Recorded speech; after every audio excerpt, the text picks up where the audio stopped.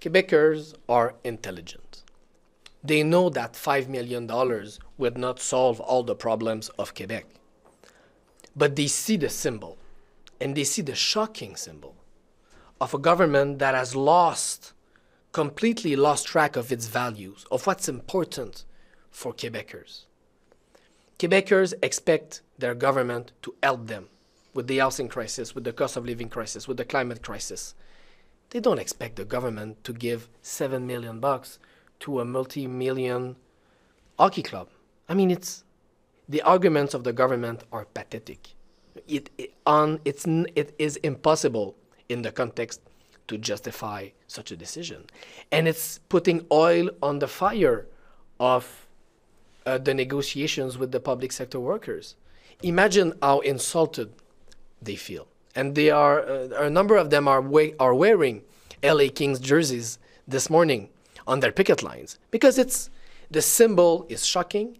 And I would even like to say if we if if you had asked me to invent an, an a fictitious symbol or example of the disconnection of the government I would never have been able to invent such a clear example not think that it's realistically, is it not too late for the government at this point I don't know. back? I don't know the specifics of the contract, but it's a decision that erodes the confidence of the public in the government and in our institutions.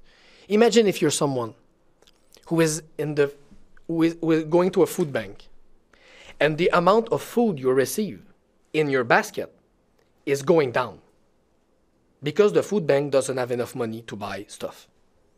And then you turn on the TV and you see Mr. Girard saying, "Oh, we had seven million dollars just lying around for the LA Kings to do two preseason games." Imagine how you feel.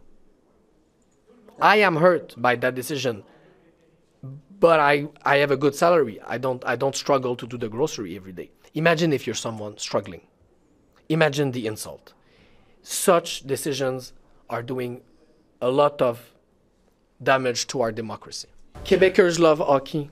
Quebecers are in love with their national sport. Personally, I do love a lot hockey, but they love something else even more, which is to have a society where people can eat if they work full time, a society where the people working for us in our schools and our hospitals have good working conditions and can give good services to, to the population. The, the fact that François Legault seems to think that the love of hockey is superior to the love of those other things is a testament to the respect he gives to Quebecers.